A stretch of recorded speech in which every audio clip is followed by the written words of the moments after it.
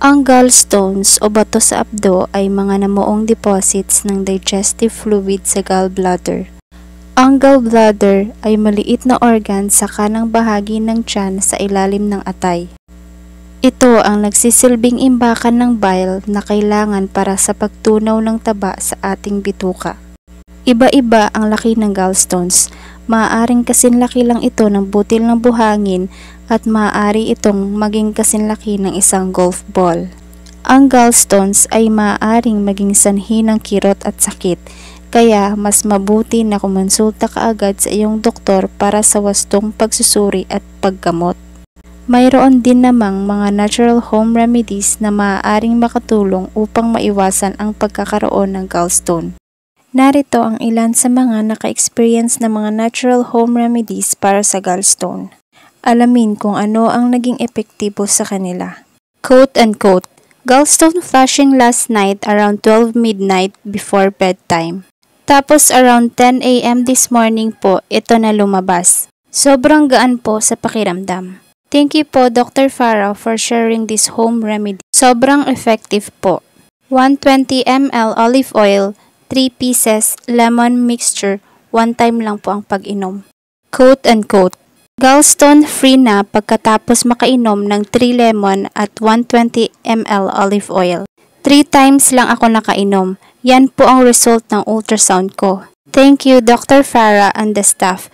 God bless sa inyong lahat. Quote unquote.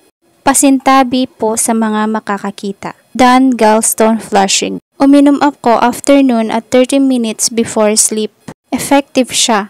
2 times 120 ml olive oil plus 3 lemons. Thank you, Dr. Farah. Quote unquote. Please respect my post. Hello po mga kababayan. I'm just so amazed sa post dito about gallbladder cleansing using olive oil and lemon. Di pa naman confirm kung ano ang mga butil na lumabas pero effective yung cleansing. May result. Kaya lang, instead of lemon, apple cider vinegar kasi na-curious ako. Ginawa ko agad. Heto yung result almost 24 hours during nighttime after just one round of 120 ml of extra virgin oil mixed with 2 tablespoons of apple cider vinegar at 120 ml lukewarm water. Cholesterol type, green color ng gallstone yata ang kayang ilabas ng olive oil. Di na masama as home remedy. Quote unquote, gallstone flushing. 120 ml virgin olive oil mixed with 1 2 cup lemon juice. Una po sa lahat ng karangalan at kapurihan, salamat po sa Diyos at salamat din po sa iyo Dr. Farah. Ingatan ka po nawa ng Diyos at ang buong sambayanan.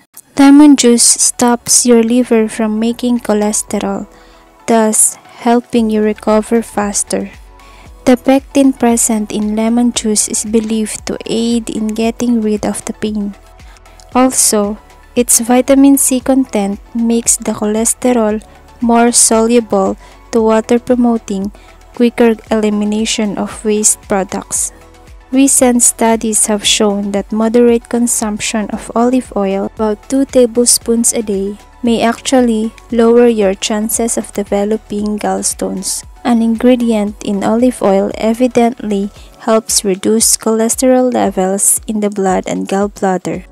Ilan lamang ito sa madami pang kwento ng mga taong nasubukan ng home remedies. Bisitahin at mag-join sa Cancer Patient Support Group sa Facebook upang malaman ang iba pang home remedies para sa kondisyon na pinagdadaanan mo ngayon. Kalagay sa description box ay baba ang link nito. This group is for sharing natural remedies for a variety of different health conditions. Be part of a dynamic, exciting, friendly, and most importantly, an honest and helpful community. Laging tandaan na magpakonsulta sa iyong doktor kung kinakailangan ng medical na atensyon. Maraming salamat sa panonood ng video na ito at sana ay nakatulong sa iyo.